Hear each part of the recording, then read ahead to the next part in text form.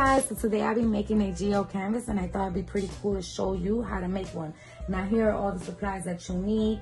You can find any of these items in Amazon, Michaels, Walmart, or Hobby Lobby. Now I do suggest that when you're looking for your resin, you shop around just because resin can get a bit pricey. If I'm not mistaken, I purchased this at Michaels for around $30 and was able to use a 40% off coupon.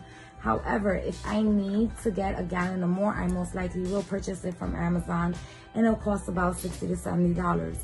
You will also need some silicone cups. Now, if you don't have, you can use plastic cups. I'll be using both, but you will still need a measuring cup. It's very important to add the equal parts of resin. If not, it won't cure. And you will need some rubbing alcohol, preferably 91%. Now, if you can't find 91%, you can get the 70%. Just know that it's a bit more stronger when it comes to cleaning the cups. And what I usually like to do is add my alcohol into my spray bottle. It just makes my life a bit more easier and I don't waste any alcohol. You will also need some popsicle sticks, one for each cup that you use, and a canvas.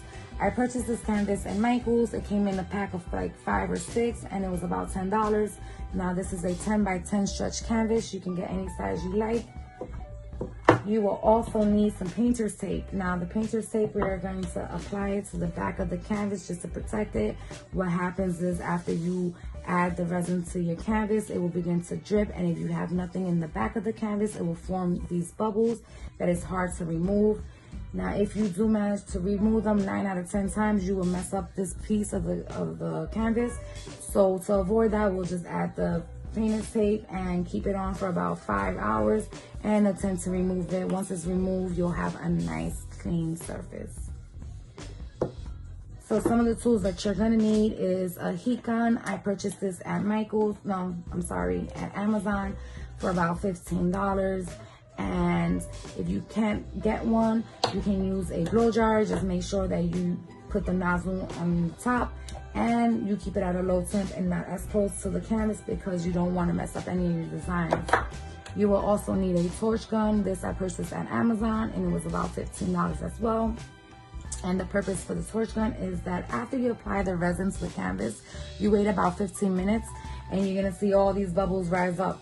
So you'll hit it with the torch gun and it'll all disappear. Now, one thing about resin that you need to keep in mind is that it's a harmful chemical and you do not want it to touch your skin or breathe it in. So you need to get a box of gloves and always wear your gloves when you're dealing with the resin, even when you're cleaning the cups out. You don't want to breathe it in, you don't want to touch it. And if it gets stuck on any of your material, clean it up quickly with the alcohol. This is what the alcohol is for. You clean it up quickly because if not, it will stay there permanently. So now that you have all your supplies, I am going to set up for part two and hopefully you can join me.